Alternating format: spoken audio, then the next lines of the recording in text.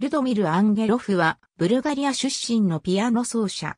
バルナの音楽一家の家に生まれた。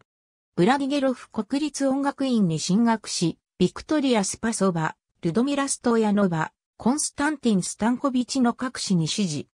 1976年のイタリアのセニガリア国際ピアノコンクールで入賞。1985年のショパン国際ピアノコンクールで入選。1990年にアメリカのパームビーチ国際ピアノコンクールで優勝している。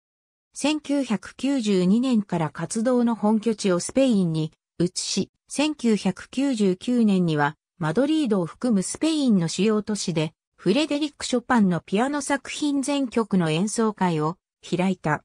2011年にはポーランド文部省からグロリア・アルティスメダルを授与されている。